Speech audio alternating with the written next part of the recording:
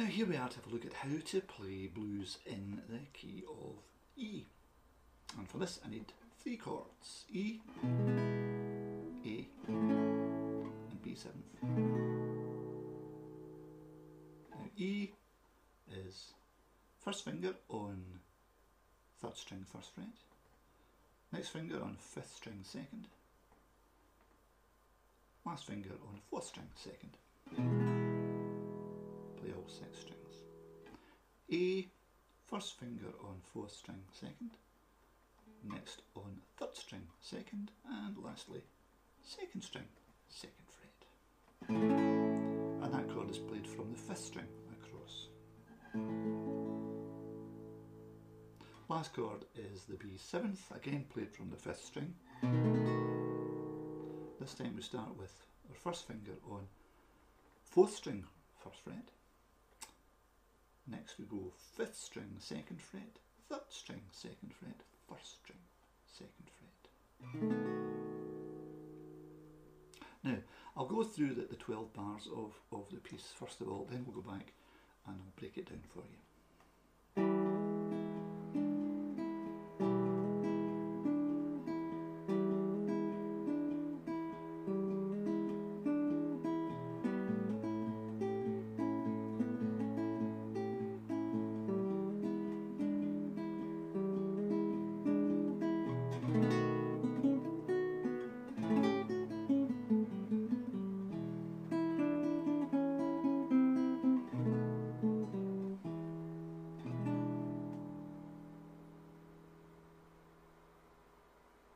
So there we go. Now first of all we should actually start with a hammer. Play the third string open and then bang your finger down onto the, the first fret. Like so. One pluck with this hand, but two notes with the other one. Now as the second of those notes sounds, use your thumb to hit the, the sixth string open down here. Like I need to do that four times. I'm going to hold the whole chord. I don't desperately need to hold it all, but things will tend to sound slightly better if I do.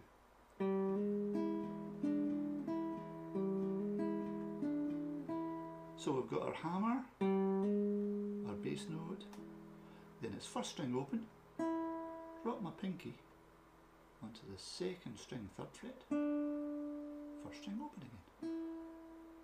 All without letting go of the chord. And we do it four times. Now we try and do the same thing with the A chord. This time my thumb is going to be plucking the fifth string and I am going to be hammering down onto the second string of my A chord. So I actually pluck the second string open and then bang down onto the second fret.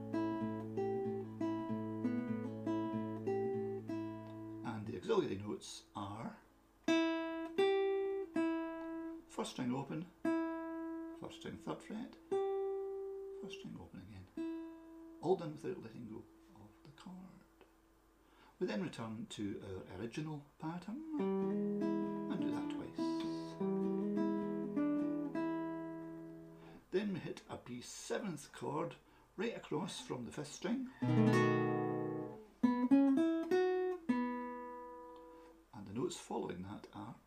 Second string open, second string second fret, first string open, first string second fret, second string open. And that can be done without letting go of the chord. Just by moving your pinky up here. Then we come to an A chord, but we're going to stick in an extra note. The pinky is going to grab uh, the first string, third fret.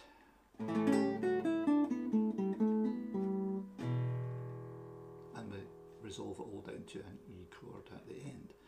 Now breaking that down, that was the chord with the extra note, first string, third fret in it. First string, second, first string open, second string, third, second open, third string, second fret, third open, third string, second fret, second string open, third string open, chord. Actually just aiming at the at the bass notes really of the E chord. I don't really want that the full thing at that point, I just want that. What you can do there is either a finger and a thumb, plucking four and six, or use two fingers and a thumb and pluck all three of the bass strings. There. Or if you're using a plectrum, actually just do a kind of half strum across. We then come to the classic blues ending. The uh,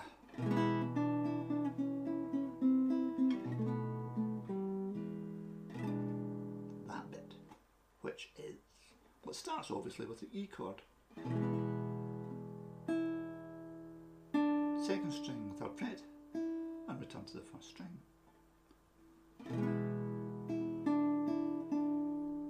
So that's just first string open and the second string, third fret.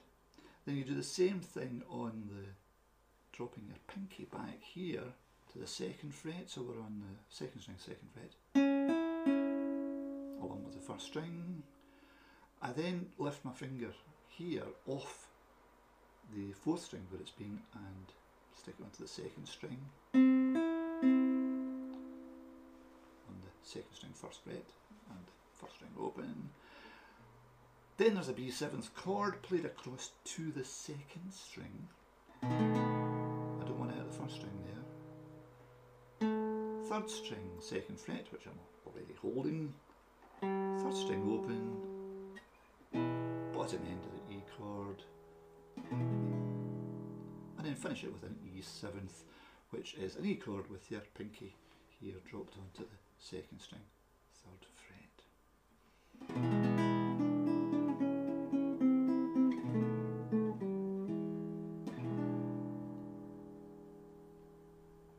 Now you can make it a little more uh, elaborate by, uh, with on this hand, uh, incorporating the, the middle finger as well. So we can figure out which way the camera is going. There, yeah, there, middle finger. And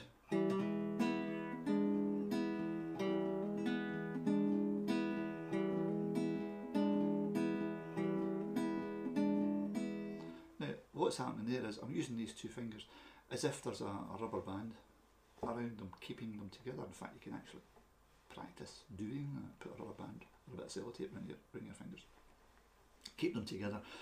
As you turn your hand down, well, the middle finger being the longer of the two, it uh, it actually plays the melody note, melody note, and your first finger this time is re- relegated to playing well, whatever string is closer towards your face, and that will automatically give you harmony. As long as you're still holding the chord shape down there, you will automatically get a harmony.